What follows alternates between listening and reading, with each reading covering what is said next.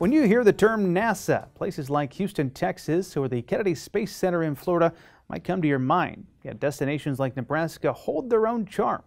Market Journal's Mike Straub had this fascinating sit-down conversation with a NASA scientist to explore how NASA aims to tap into the potential of the heartland.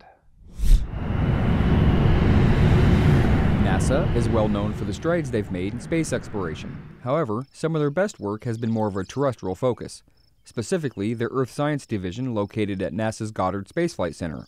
Last month, Division Director for Mission Planning, Dr. Robert Swap, was given a presentation on the South African Regional Science Initiative, better known as Safari 2000. This was a great segue into how NASA hopes to harness the heartland.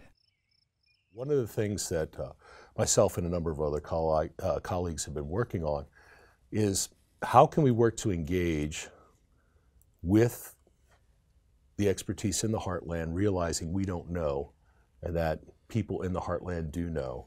And how can we work together uh, to bring together to bring together the best pieces of what we both have to offer? So in NASA Earth Sciences, we are really strong at innovation, exploration, um, cutting edge stuff. However, people who live and work here are experts uh, regarding the way that they work the land, they understand the land, uh, they manage the land, and I believe that uh, in many ways we complement each other well. From groundbreaking research to a thriving extension system, when you're talking about available data and a good working relationship with agricultural producers around the state, Dr. Swap told us working in conjunction with the University of Nebraska system would be instrumental in working toward the goals of harnessing the heartland. Nebraska is extremely strong in their extension uh, activities. Uh, they're working with uh, those who work the land uh, their understanding of the landscapes, the land atmosphere interactions. Um, I mean, 130 years of uh, soil moisture data, uh, I mean, groundwater data, uh, multiple different types of ecosystems that they've mastered and have a unique understanding with, of. And in many ways, working with them where they have that ground truth from the ground to nose height and we can work with them to go from nose height to satellite. And we see them as key, key uh, partners, whether it be on the science side, the ag side, the natural resource side, or on the, the medical uh, services side as well. So we're really excited in many ways, Nebraska and the University of Nebraska system um, represents almost like one-stop shopping, if you will, kind of like the large intellectual Costco in the sense that we can come in here and you have expertise of all these different flavors.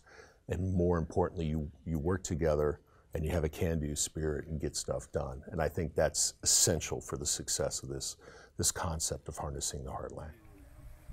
Drought has played a huge part in cropping systems across Nebraska and much of the western United States. Over the last couple years, when it comes to these kind of studies, Dr. Swap knows that input from everyone will play an important role in the success of any given mission. In a sense, this is a perfect opportunity to think globally by acting locally.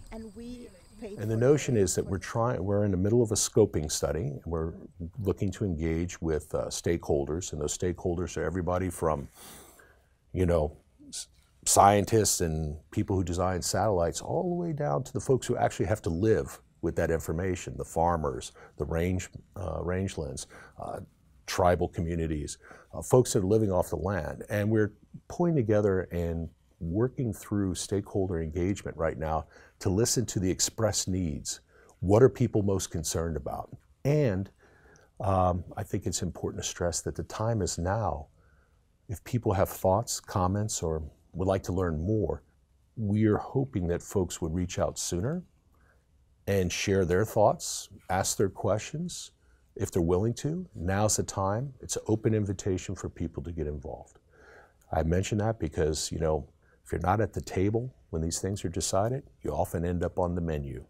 So what I'd really like to do is those folks that have some ideas and interests, please feel free to reach out to ourselves or to our colleagues at the University of Nebraska. Eric Hunt is a good point of contact. And uh, we'll be be sure to get that information to you, and, and we look forward to any dialogues that might arise. Right. Yeah. As data is collected and analyzed over the next several years, NASA and the University of Nebraska Lincoln will continue to work towards harnessing the heartland, making life here on Earth a bit better every day. Reporting for Market Journal, I'm Mike Straub.